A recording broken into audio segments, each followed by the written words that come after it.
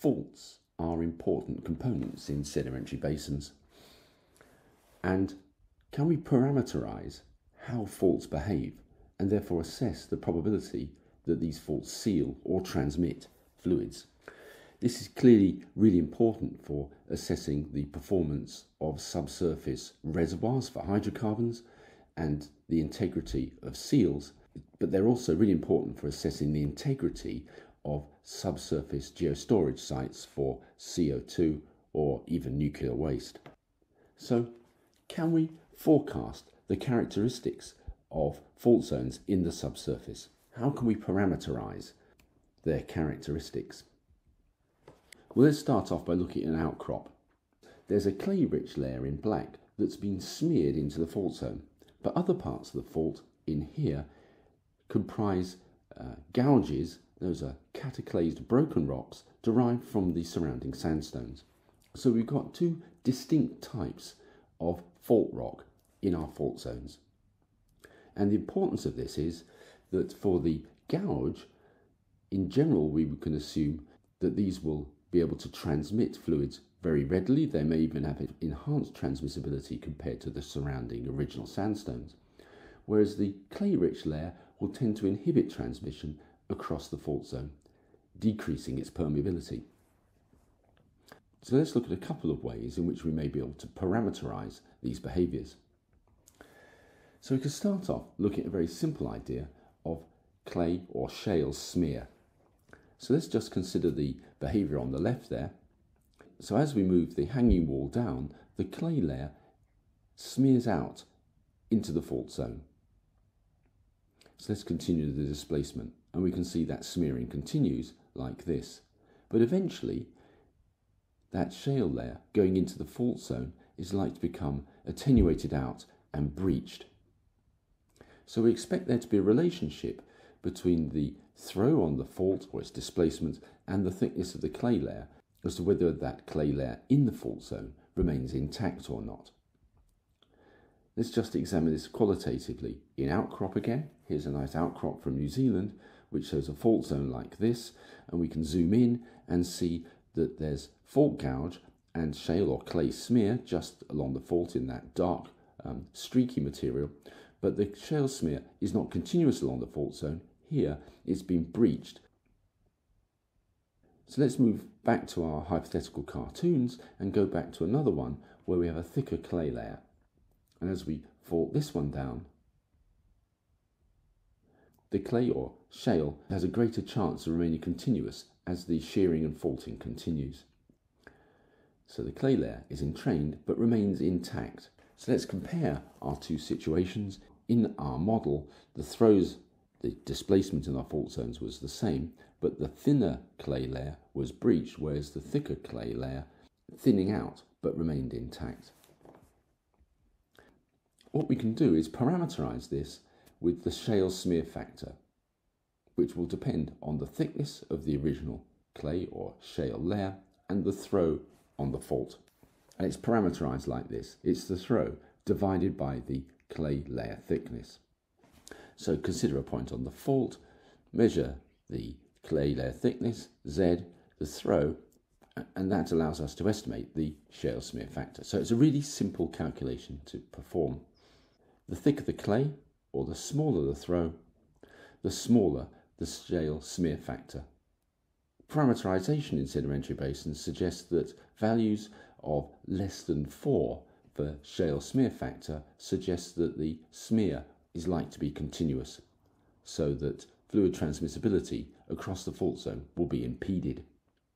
The shale smear factor works really well for single shale layers, but most sedimentary successions, of course, have got multiple shale or clay layers within them, such as here. So how do we deal with multi-layers? Well, this is where an alternative parameterization comes in, the shale gouge ratio. Let's see how this might play out. So here is our fault zone here, splitting apart, and the purple shale units moving down across the footwall here.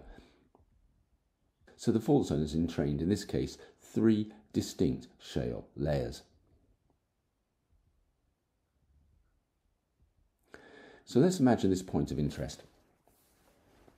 we've got our three shale layers, Z1, 2 and 3, that are moved past that point on the fault. So let's just look at the history of shale passage across that point. So what I've done here is plot up the total amount of shale or go past that point as the throw increases um, along the uh, bottom axis there. So let's see how the throw accumulates. Starts off with no throw, no shale past that point yet. The throw increasing, but still no shale arrived. Here comes some shale. And then the throw increases. The next shale arrives and keeps coming past the fault, keeps coming past that point of reference, like this, to this point here. The next shale arrives, and then eventually no more shale arriving. So that's the history of the passage of shale past that particular point in the footwall to the fault. But that's not forecasting the fault rock. But increasing throw makes breaches more likely. So we need to be able to build that breaching behavior into the graph on the right. And this is where shale gouge ratio comes in. So the shale gouge ratio is sigma z divided by the throw of the fault times 100 to get it into a percentage. And sigma z is the sum of the thicknesses of the shale that have passed that point on the fault. So it applies to a single point on the fault plane.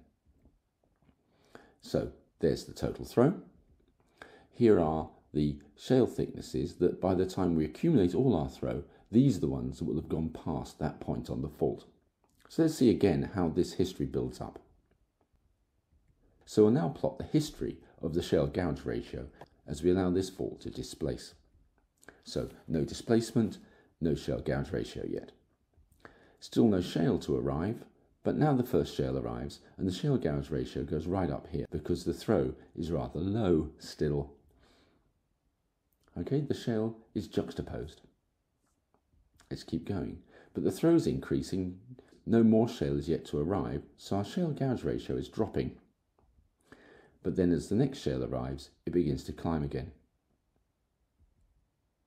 But the, remember, the throw is still going up, so the shale gouge ratio is not increasing that quickly. Indeed, the throw is out competing the shale thickness as it arrives. So this is our history of shale gouge ratio and it shows how sensitive it is to the throw.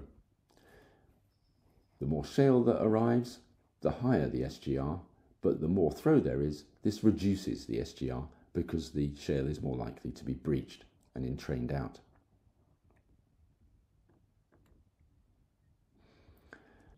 So for a shale gouge ratio, we need to know the stratigraphic section and we know, need to know what part of that section has passed a particular point on the fault. And we need to know the throw. So there may be uncertainties in both of these values in reality. The SGR has a binary view of stratigraphy, just sandstone or shale. And it assumes that the proportions of these units that we see in the wall rock are incorporated in those proportions into the fault zone.